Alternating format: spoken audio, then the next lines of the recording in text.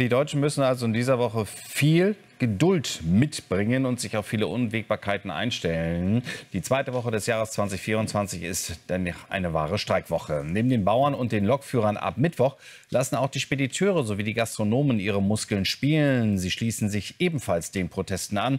Es ist bereits die Rede von einer Art Generalstreik, den es ja in Deutschland eigentlich gar nicht gibt. Aber das Ganze orientiert sich schon an dem französischen Vorbild. Hunderte Traktoren versammeln sich im Dezember vor dem Brandenburger Tor, legen die Straße des 17. Juni in Berlin lahm. Es ist nur ein Vorgeschmack auf das, was diese Woche bundesweit an Blockaden droht. Denn nicht nur die Bauern tragen ihren Frust auf die Straße, auch viele weitere Branchen schließen sich an. Aus einzelnen Protesten wird so eine Massenbewegung, die das Land lahmlegen soll. Die CSU sieht die Schuld bei der Ampelregierung. Die Ampel hat äh, Deutschland in Unordnung gebracht. Wir erleben eine Polarisierung, wie wir sie seit Jahrzehnten in diesem Land nicht kennen.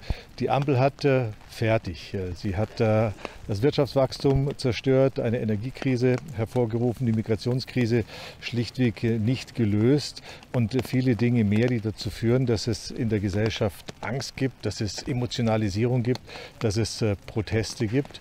Schützenhilfe bekommen die Bauern von den Spediteuren. Und nicht nur die kämpfen gegen die Kürzungspläne der Bundesregierung. Mies ist die Stimmung auch unter den Gastronomen, nachdem die Mehrwertsteuer wieder auf 19 Prozent gestiegen ist. Und Mitte der Woche kommt es für viele Pendler ganz dick. Die Lokführer streiken, legen den Bahnverkehr in Deutschland von Mittwoch bis Freitag lahm. Dass die Protestwoche in dieser Form eine einmalige Angelegenheit bleibt, unwahrscheinlich, sagt Politikwissenschaftler Werner Patzelt. Wenn die Politikerschaft sich nicht daran macht, auf das zu hören, was nennenswerte Teile der Bevölkerung für richtig oder für falsch empfinden, dann in der Tat wird seitens der Bevölkerung das Protestverlangen zunehmen.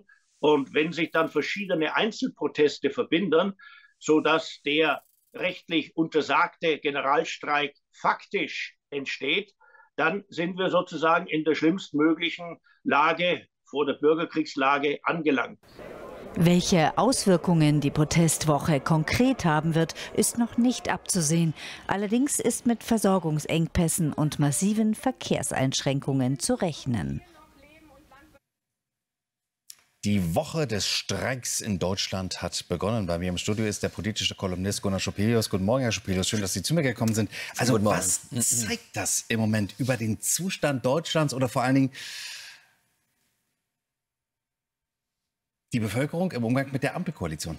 Vielleicht äh, kann man es gar nicht so weit ausdehnen und gar nicht sagen, was die ganze Bevölkerung denkt. Aber natürlich ist die Stimmung ähm, angespannt. Aber die Bauern selbst, die haben tatsächlich allen Grund, sehr wütend zu sein. Da ist die Erhöhung auf den Agrardiesel, die Steuererhöhung auf den Agrardiesel eigentlich nur der Tropfen gewesen, der das fast zum Überlaufen brachte. Wir können jetzt die letzten Jahre rekapitulieren. Sie sehen sich einer Gängelei ausgesetzt, wie es von Seiten der Politik sie noch nie gegeben hat.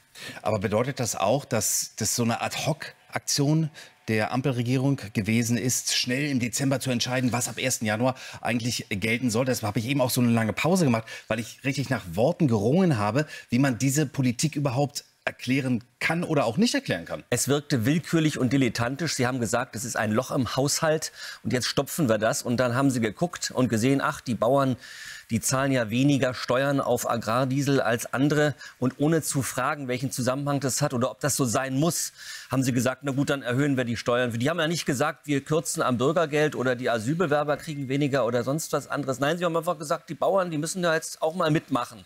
Und gar nicht gefragt, ob die Bauern das zahlen können. Und da kommen wir zu dem Punkt.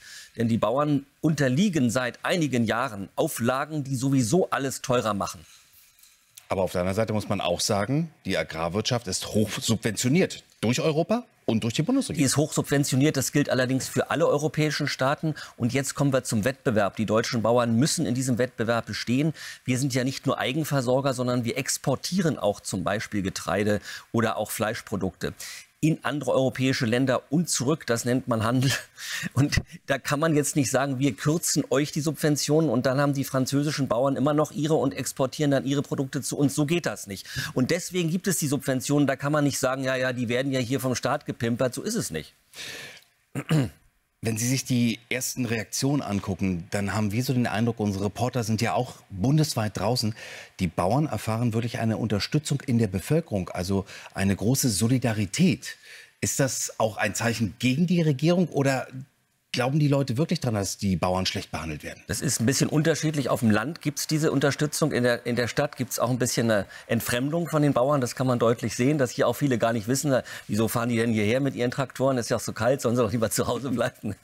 Aber auf der, in der, die Landbevölkerung weiß natürlich genau, worum es hier geht. Und die weiß auch genau, dass die Zahl der Höfe und der Familienbetriebe immer weiter abnimmt. Man sieht es ja dann. Der eine macht zu, der andere macht zu und sagt, ich kann mir das nicht mehr leisten. Es lohnt sich einfach nicht mehr. Das ist ja einfach nur ein Rechenbeispiel. Beispiel. Ja, wenn, wenn am Ende nicht viel übrig bleibt, dann sagt er, dann mache ich halt was anderes, dann mache ich einen anderen Job. Und das merken ja die Leute. Und dann sehen sie eben, dass von Seiten dieser Bundesregierung, und das hat sogar der Ministerpräsident Weil in Hannover gesagt, der der SPD angehört, von Seiten dieser Bundesregierung überhaupt kein Signal kommt, ja, wir haben euch verstanden und wir gucken da nicht zu, sondern wir sehen, dass ihr über die Runden kommt. Es ist eine aufgeheizte Stimmung, ja schon seit Tagen. Das war vergangene Woche mit Robert Habeck.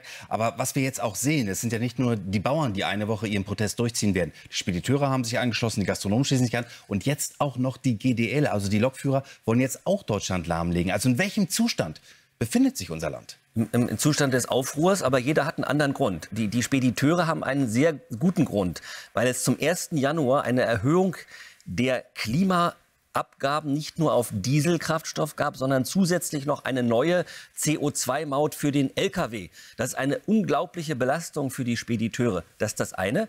Die Lokführer wiederum haben ganz andere Motive. Sie sagen, wir kriegen zu wenig, unser Schichtdienst ist zu belastend. Also es gibt überall verschiedene Motive und das Ganze hat sich jetzt zusammengefunden in einem großen Wutausbruch über diese Regierung, von der eben viele meinen, dass sie den Willen der Mehrheit in der Bevölkerung nicht abbildet in dem, was sie tut.